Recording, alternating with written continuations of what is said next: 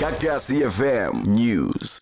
Former KZN Premier Willies Mchunu has urged the members of the parliament to act ethically when performing their duties. He said they should put the needs of the people first. Mchunu has been speaking at the Harry Gwala Memorial Lecture at the provincial legislature in Pietermaritzburg. He says the late stalwart was a catalyst among politicians that ensured that demands of the people are prioritized, adding that Gwala would have urged the current leadership to do the same. He is one leader here in the province of KwaZulu Natal. We could safely say accommodated many of the young leaders who came for advice.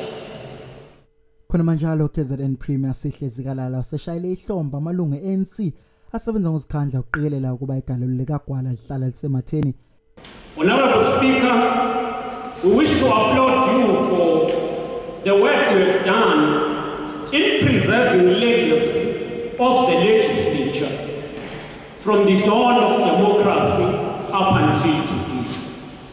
We do so also paying tribute to the late Deputy Speaker, Honorable Ndobe, whom we've learned that he was equally passionate about this legacy project. for Gagasi FM News I am Sphelele Nzuza Pietermaritzburg Gagasi FM News.